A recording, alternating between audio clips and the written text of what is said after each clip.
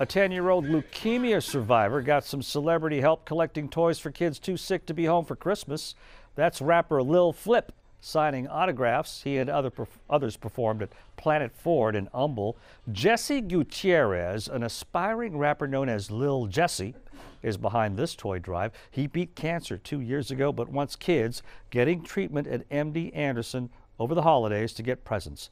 Nonprofit We See Abilities helped line up sponsors. Monday, they plan to deliver the boxes of gifts. When I beat cancer, I wanted to give back to people and, that are going through the same thing as me. So this is a really important event to me because I was fighting cancer at that same place, and I was in those kids' shoes one time. When those kids see these gifts, little Jesse expects them to be amazed. They will be.